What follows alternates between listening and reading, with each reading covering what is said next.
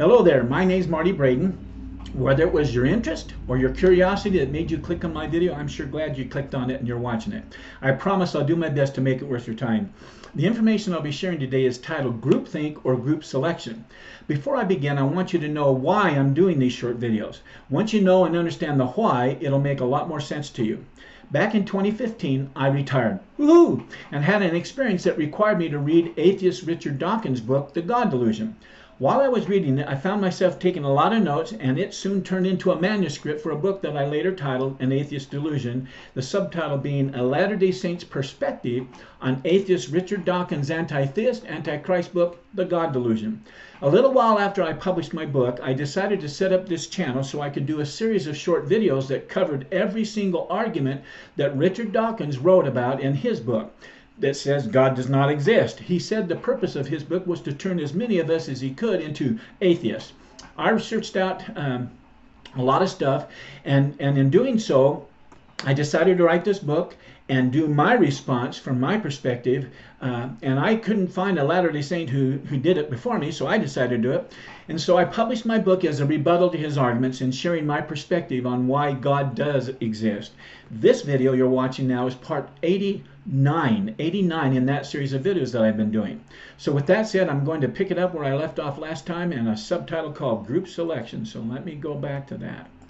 Group selection. Group selection theory is the idea that Darwinian selection chooses among species or other groups of individuals that have similar ways of thinking. Here's an example that Richard gives to describe what this kind of group selection, selecting or group choosing is, as a theory for how it helps to form a particular religion. Here's Richard describing how it might look. A tribe with a sternly belligerent god of battles wins wars against rival tribes whose gods urge peace and harmony. In other words, they take advantage of the weaker or less, uh, more docile folks. Or tribes with no gods at all. Warriors who unshakably believe that a martyr's death will send them straight to paradise fight bravely and willingly give up their lives. That sounds a lot like 9 11 and those suicide pilots that attacked America, doesn't it? This simply sounds like groupthink to me, though. So tribes with this kind of religion are more likely to survive in their intertribal warfare, steal the conquered tribe's livestock, and seize their women as concubines, and so on and so on. Such successful tribes prolifically spawn daughter tribes that go off and propagate more daughter tribes all worshiping the same tribal god. The idea of a group spawning daughter groups like a beehive throwing off swarms is not implausible, by the way. End of Richard's quote. This ruminating is just one more imagined guess on Richard's part. Part. I think that's my thoughts anyway. It actually describes how organizations like Black Lives Matters or gender ideology begin and grow. Richard then states that he is not a supporter of group selection, and that's because he says he feels it doesn't amount to a significant enough force in evolution. Again, it is always about evolution's natural selection for Richard just as it is always about God's intelligence for me. I have to ask this question here. Why is Richard even bringing in this theory of group selection? I think it's to confuse or to try to sound more, I guess, credible to his peers because other intellectuals like himself agree with the idea that religion is man made and therefore they feel it necessary to produce what he calls plausible theories as to why men have come up with different types of religion. Who knows? It just seems odd to me to even bring it up. The truth is that it doesn't help move the percentage of probability spectrum's belief cursor one fraction closer towards the God does not exist marker. It's just a smokescreen put up by Richard so he can avoid having to admit that natural selection can't possibly be the answer to everything, which he tries to make it be. In my way of thinking, there's certainly room for postulating a theory that a super intelligent designer is behind pure religion and that the natural man has a propensity for messing things up due to their state of carnality, which includes evil designs and a desire for power. And that's so they can control other people in order to achieve their selfish desires. Here's what I'm talking about. In the Doctrine and Covenants, section 121, verse 39, we read, We have learned by sad experience that it is the nature and disposition of almost all men, as soon as they get a little authority and power, as they suppose, they will immediately begin to exercise unrighteous dominion. Boy, is that true.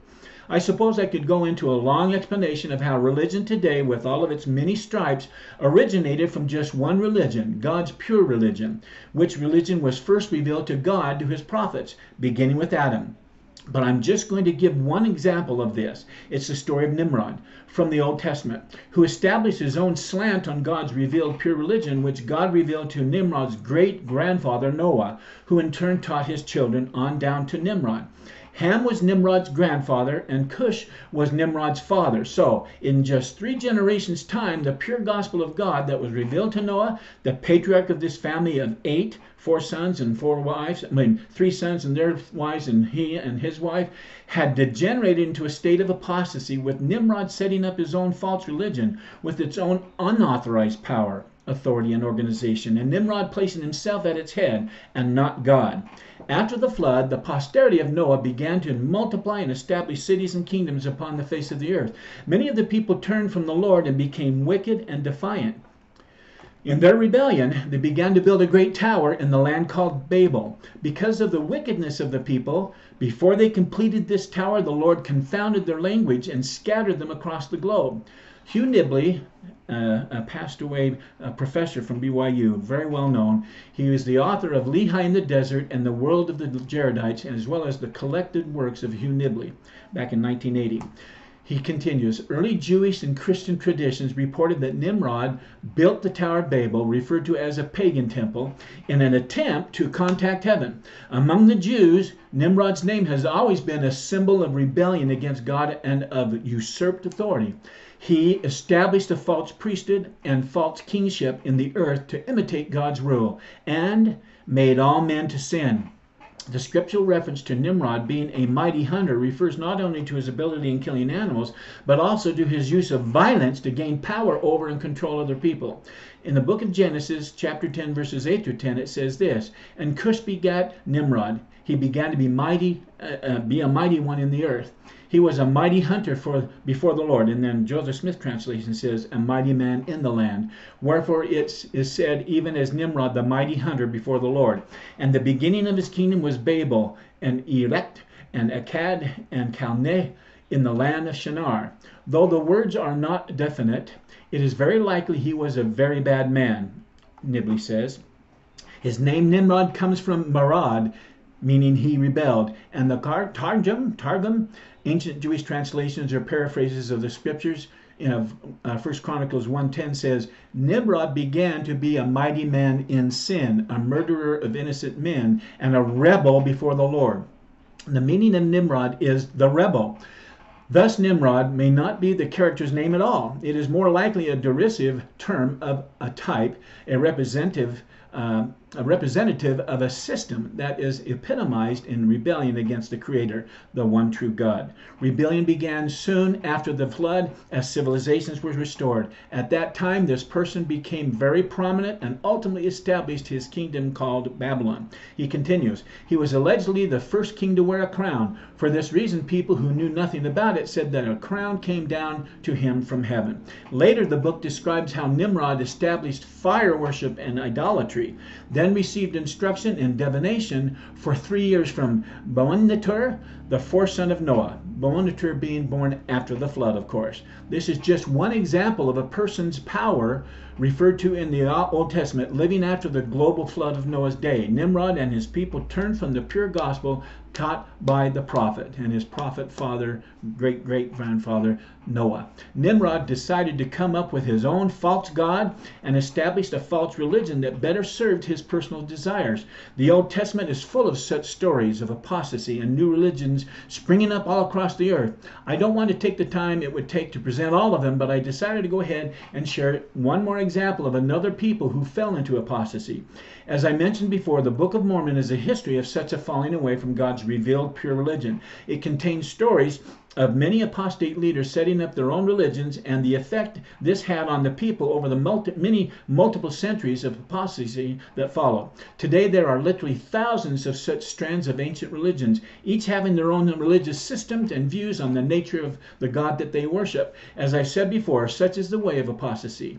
My second example is about two groups of people coming from the prophet uh, Lehi's parentage, both of which fell into apostasy. One group was the Lamanites, who ultimately destroyed the other group, the Nephites. The Nephites started out as a delightsome and righteous people, but they soon became a tragic story of paradise lost, their paradise being the life and way of happiness they enjoyed by following the true and living God and his gospel's plan of happiness. My comments on people and their apostasy may not be the kind of sophisticated commentary Richard would put forth, but I think my analogy will be understood by everyone reading my book the, or watching this. The analogy is that of the chain of whispers game, or what's often called Chinese whispers. This is a game where you have a number of people making up the chain. The first person is whispered an exact, pure statement by the one directing the game. The first person receiving the original pure message is then required to whisper that message to the person to their left. And this transference of the message is repeated to the left, to the left, to the left, to the left, to the left, until the entire chain has received and passed the message along. The last person to receive the message then says out loud what they heard. Almost without exception, the message declared by the last person to receive it doesn't even come close to what the original message was. These are people who had no axe to grind or evil designs to change the message. Now imagine the message is a typed message on paper, or is engraven on stone, or written on papyri and passed around a chain of people. Imagine that several of the people along the chain decided to change some of the writings before passing them along to the next person. This is how apostasy happens. Now imagine Nimrod deciding to change the pure gospel message he was taught by his father. As I have said, this altering of the pure truth is the fruit of behavior of the natural man using their unrighteous dominion. I'm going to jump to a thought that I wrote because I feel like it fits perfectly in here. It's not part of my book, but I want to share it.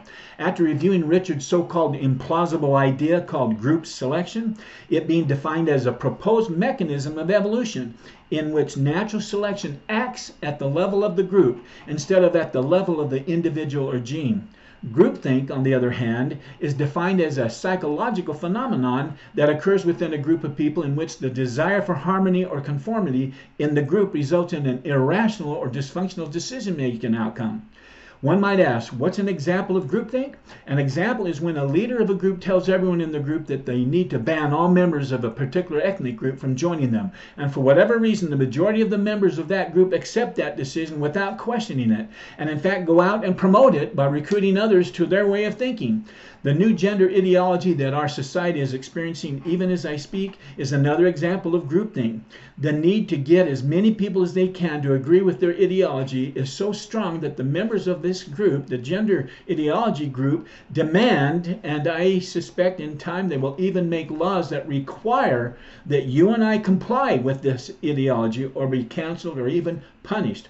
To me, this is simply the fruit of a society that has rejected the idea of an objective set of laws for the ideology of a subjective set of laws that are subjective, which, as I said in an earlier video, ultimately leads to chaos in that society, which is exactly what we're now seeing in multiple societies throughout the world. Because everybody's opinion fits, everybody's decision fits, everybody's um, has to allow the other person to disagree. There'll be uh, if they can get a group like that. Well, I don't think that's right, and I don't think that. Well, my opinion is subjective, subjective, subjective. Ultimately leads spirals down to chaos And this just a ma- uh, so I ask you, is this just a manifestation of natural selection working in our brains, this ideology that I'm talking about, or is it just the natural man rejecting God's laws as being objective and becoming a law unto themse- uh, themselves or ourselves uh, subjectively? I will let you decide which of these ideas rings the most true to you. But that's the end of this video. I hope it stirred some thoughts. I want to hear what some of your thoughts are and your, your comments are welcome. Uh, please keep it kindly and keep it uh, uh, non-contentional, but I'll take whatever side. I'd love to respond to it. And any questions you have of me, I'll do my best to answer them as quickly as possible. But until next time, I want to wish you continued success. Goodbye.